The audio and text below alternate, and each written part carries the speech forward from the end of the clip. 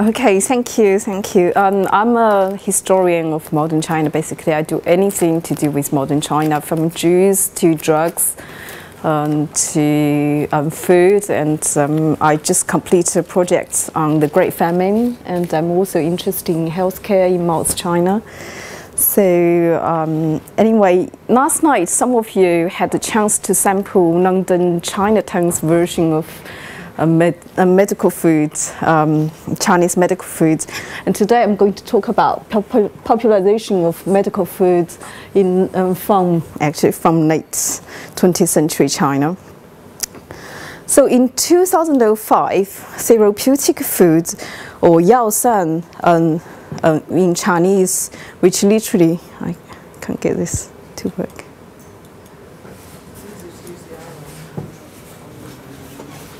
Okay, Just it's fine, yeah. Press this one. that Right, that okay. Through. Yeah. Yeah. Yaosan in Chinese, which literally translates as medical food, um, was reported one of the most fashionable cuisines in major Chinese cities. Suddenly, a great number of people, young and old, middle class or salary earning mass, wanted to eat healthy and light food and do more exercise. So popular saying that year was, if you take me out for meal, please take me to a Yaosan restaurant. Sichuan in southwest of China, as you can see, um, well, okay, um, is known for its spicy local cuisine, and the provincial capital Chengdu, um, which you can see on the map, is Sichuan's food capital here. Um, here, food is the most glorified subject, and chili, we just heard about a lot, and Sichuan pepper is, um, are the most important spice of local life and the soul of local people. And some people told me they've never seen Sichuan pepper before, so I brought a few for you. For those of you who want to numb their tongue, you can try it.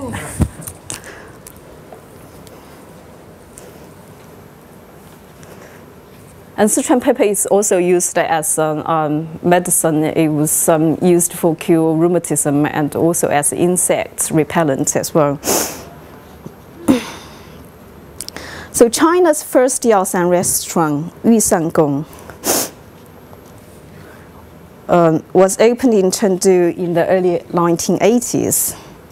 At the time, it, was both, um, it boasted to serve imperial and recipes, which were kept in the former Forbidden City, in, which includes a deer banquet with um, dishes um, made of deer's penises and fetuses.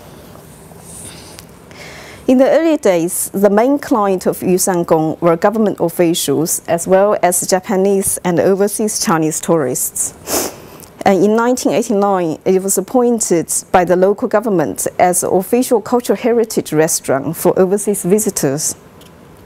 Local Chinese rarely ventured such a place, but this was to change in the next 20 years. By the early part of 21st century, it became a popular destination for the locals.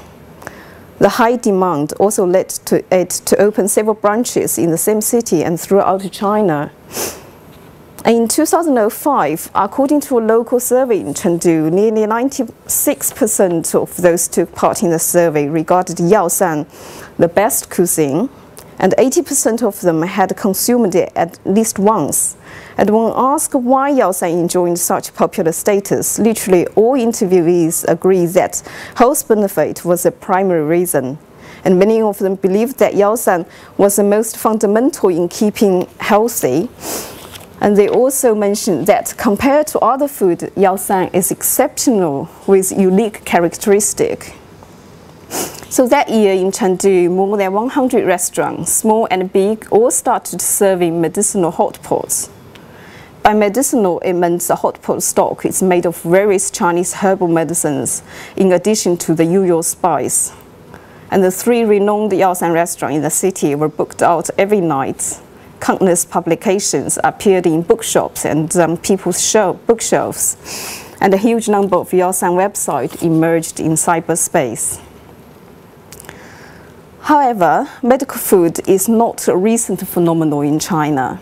For centuries, people in China have learned to treat various illnesses and to keep healthy with food.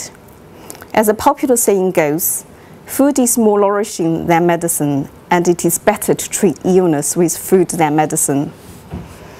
Talking to any grandmother on the street, she would be able to tell you that drinking uh, a drink made of ginger, spring onion, and dark brown sugar is good for common colds, and boiled soup of hen millet and roasted sesame seeds can help a pregnant woman to regain her strength after giving birth. Although many claim that Yaosan practice had suffered under Mao, especially during the Cultural Revolution period, my own research on the Great Famine and on healthcare in Mao's China shows the opposite. Due to shortage of food and lack of medical care, ordinary people revived old remedies to try to keep themselves alive, to cope with hunger, and to stay healthy. Many actively went out into the mountains to look for herbs and plants to fill their stomachs and to treat various ailments. Leaves of the scarlet trees and castor oil plants, young stems from trees of heaven, and hemp plants are just a few examples what people consumed. Besides plants, people also consumed earth, insects, worms, animal dung, human hair, and human flesh. During the time of the famine, local governments also encouraged people to rediscover traditional hunger coping recipes. And obviously, in post-Mao China, those uh, the need to combat hunger seems no longer an issue, and many of these hunger coping recipes did not disappear. However, and for instance, carrot congee and wild herb congee uh, were two popular famine foods at the time, and because by adding water, vegetable, and herbs, the rice would last longer and stomach will feel um, full quicker.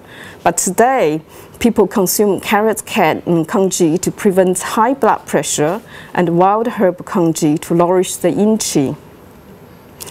So now appeared as yao san or as health foods, and this famine um, recipes have acquired new meanings and new social functions. So um, what um, makes Yao San different from everyday food is that it is often um, processed and cooked by adding medical herbs, minerals, and animal parts. It claims to be able to heal and to keep one healthy. And Yao San also claims to be able to make medicine taste delicious, thus palatable to majority of people. However, the boundaries between food and medicine have never been very clear. One of the principles of Yao San is food and medicine are one. To Li Shizhen's 16th century Materia Medica. One finds a long list of food items. Oh, sorry long list of food items assigned medical properties from vegetables to fruits, grain, shells and fish, poultry and animals, and even human substances. So take chicken, for example, which is very common to poultry.